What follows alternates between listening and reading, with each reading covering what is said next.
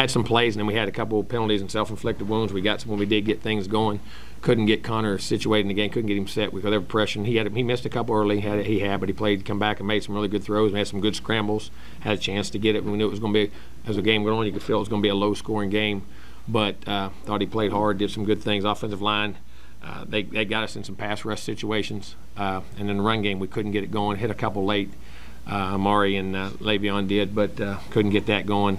Um, some opportunities, a couple drives. We had the first half in, the middle of the second quarter. We got down there and got stalled and didn't do it defensively. Uh, physical. They ran the football and they had a lot of yards, but we still did a great job of getting stops at critical times.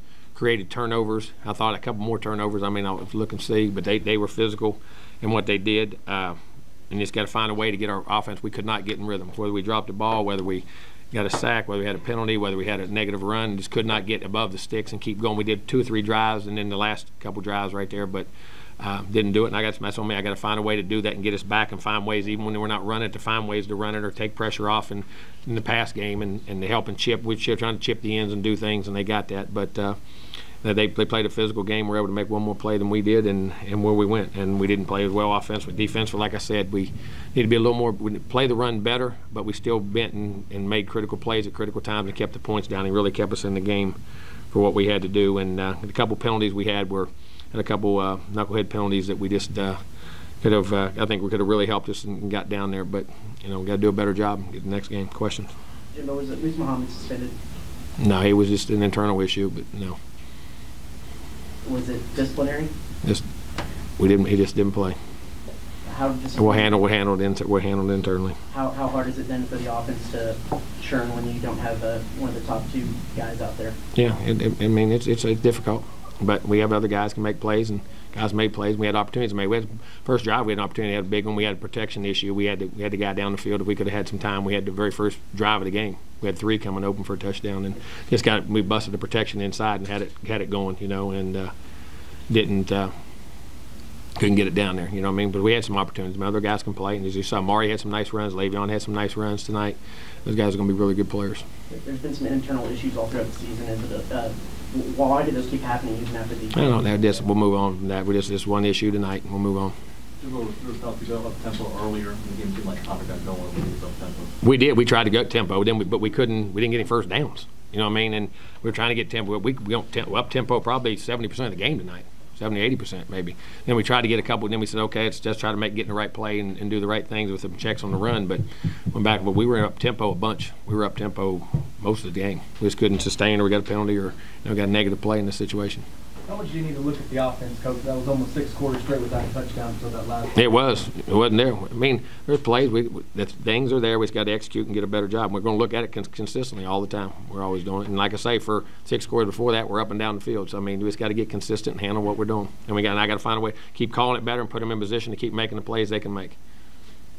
Jimbo, would a, uh, this performance, would that lead you to, would this be the thing that would lead you to, uh, uh, changing the offense and bringing somebody else to help you? Well, I mean, there's listen, the offense we run is still the same. There's similar all schemes across the board. We just got to call it better, coach it better, and do it better. And, there- and if we bring somebody in, if that whatever what happens, it doesn't matter. It's still verticals are verticals, smashes are smashes, and like, we got to get it coached better and do a better job of it. So we'll evaluate everything.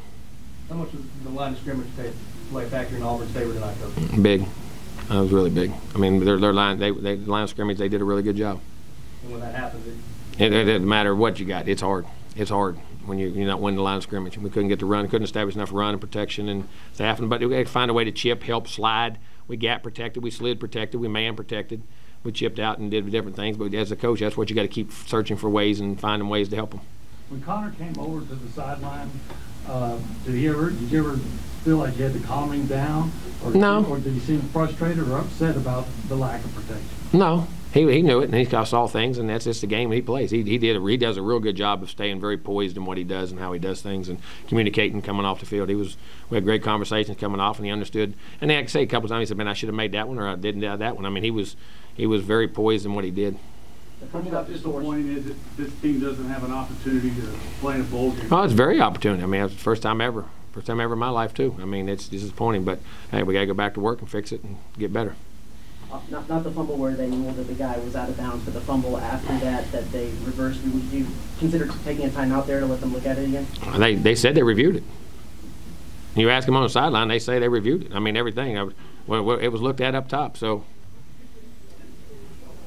I've never taken a timeout and gotten it ruled on and gotten it back. And here, they, because they say every time, they're supposedly, every one of them, they rule on and they review. So just like on the one out of bounds, and that's like, on- I was trying to on the spot. I thought the spot on the third down on the far side of the field when the one they measured and got, I thought, we thought up top we, we were out of bounds, but they said they reviewed it and the guy on the field said they reviewed it and looked at it, so.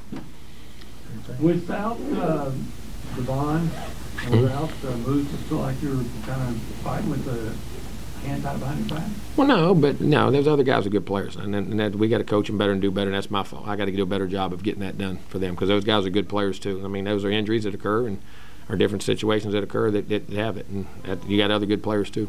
Is Max okay, coach? You have an update on him? Yeah, he, he's. I mean, he shook up. I mean, he's he he's pretty sad because Max's been through a lot, man. His career. He's there's nobody who loves A and M more and who does puts his heart and soul in practice and everything he does.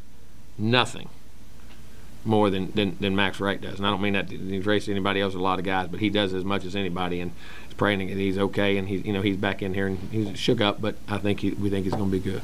Do you expect Devon back, uh. Uh, yeah, could be. Yeah.